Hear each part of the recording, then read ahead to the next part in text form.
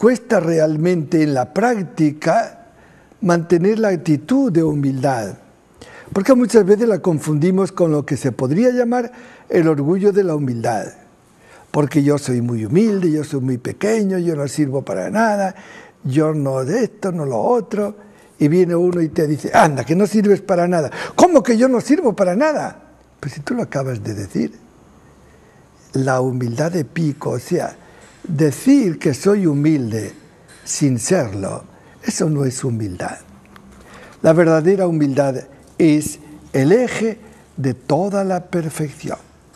Fíjate lo que dice San Gregorio Magno. La humildad es madre y maestra de todas las virtudes. Qué frase tan hermosa. Madre y maestra de todas las virtudes. La humildad.